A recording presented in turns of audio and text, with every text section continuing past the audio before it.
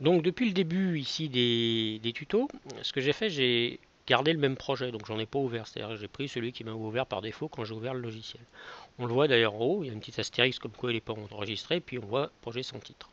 Maintenant celui-là je vais l'enregistrer, fichier enregistré, je vais le mettre sur mon bureau, voilà, je vais l'appeler 1, tout simplement.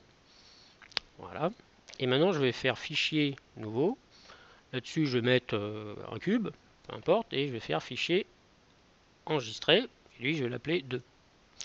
Donc ici on peut très bien passer de l'un à l'autre via cette petite fenêtre, ici dans l'option fenêtre, ici on va voir tous les projets qu'on a créés en fait. On peut très bien euh, passer de l'un à l'autre. Si je regarde ici sur mon disque dur, en fait, ça ressemble à ça, c'est-à-dire qu'il essaye, bon là parce qu'il n'y a pas grand chose, il essaye de faire un icône de votre scène principale, ici. Et le projet en lui-même est souvent assez léger parce que souvent les textures sont bah, sont dehors, sont dans un petit dossier externe.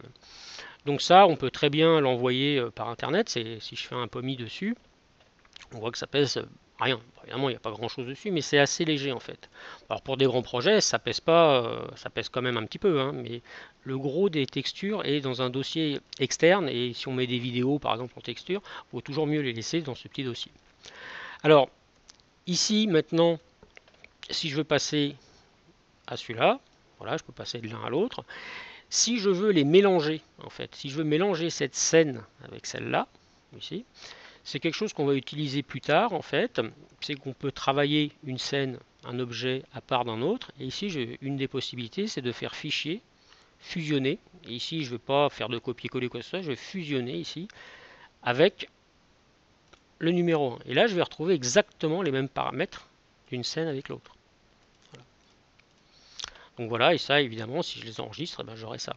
Si je fais fichier enregistré, ici, et que pour X ou Y raison, ici je jette mon fichier numéro 1, voilà, imaginons je le jette, tac,